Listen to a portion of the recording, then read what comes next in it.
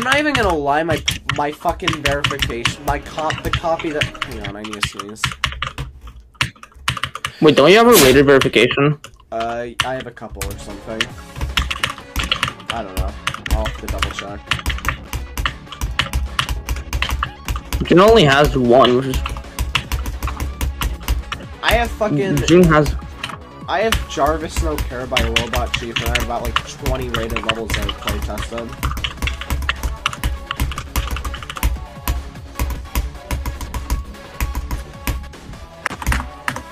I really want to like playtest a fucking level that is rate worthy.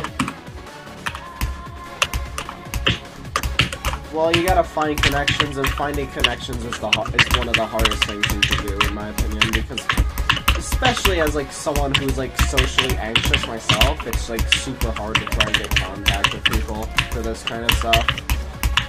You know what I mean? Yeah, I think I'm socially anxious, I'm anxious as well because I just get incredibly like fucking. Oh wait, you're going. What the fuck? Wait, I am. Wait, this is super far. You were like, huh? I was like, you're far. What?